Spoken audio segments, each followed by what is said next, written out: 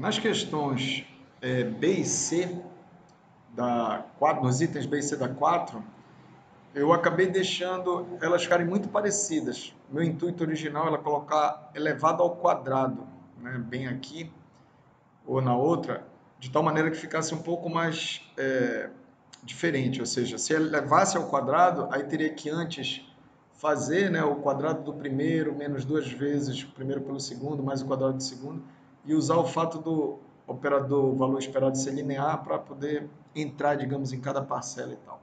Mas como não houve o quadrado, a B e C ficaram bem parecidas e até mais fácil, mais fáceis, né? Eu vou é, comentar as duas juntas. Então, Estou lembrando aqui que na lista de exercícios a gente tinha o quadrado, certo? E na hora de digitar para a prova eu me enganei e não botei. Então não tem o quadrado. Pela linearidade então do valor esperado, fica fácil. Se eu estou querendo saber quanto é o valor esperado da subtração dessas duas, basta eu fazer o fato né, dele ser linear, o valor esperado da subtração das duas é o valor esperado da primeira parcela menos o valor esperado da segunda. E como o valor esperado aqui eu estou tirando a média desse cidadão, basicamente eu sei que a média desse processo é 1, está dado no enunciado. E aí se eu pegar outro instante de tempo, não interessa, não muda no tempo, então é 1. E aí a subtração das duas vai dar zero. Bem como se eu somar os dois valores esperados, né, eu vou ver também pelos mesmos argumentos que vai ficar 1 mais 1 e dá 2. Vamos só aproveitar essa questão para observar como está na lista de exercícios, se houvesse o quadrado. Agora, se houvesse o quadrado, eu estaria lidando não com a média, mas sim com o valor esperado do x ao quadrado, que seria a potência média. Né? Eu não estava esperando usar mais o nível DC. O nível DC é o valor esperado da variável aleatória. Essa é interpretação que eu quero que vocês tenham.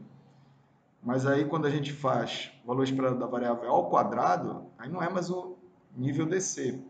Seria a potência média. Né? E vocês também não devem errar, só aproveitando, né? Se eu digo, eu quero isso aqui, valor esperado do x ao quadrado, certo? Isso é diferente de eu dizer, eu quero o valor esperado do x e depois eu vou elevar ao quadrado o resultado desse valor esperado, certo? Vamos agora interpretar. Olha, isso aqui é, por definição, a potência média do, do sinal. Aqui é diferente. Aqui eu estou tirando o nível DC, vocês concordam? Que é a média do sinal, e aí elevando ao quadrado. Isso é tão diferente que, na verdade, a gente tem uma fórmula que a gente já usou mais de uma vez. Que o valor esperado de x ao quadrado é a variância do x mais isso aqui. Certo? Então, dá bem para ver aqui pela expressão de baixo, né, que isso aqui em cima, as duas parcelas não são iguais. Tá certo? Eu só estou aproveitando para comentar porque a gente teria que lidar com valores esperados da variável aleatória ao quadrado se a gente tivesse usado, né, se fosse desse jeito.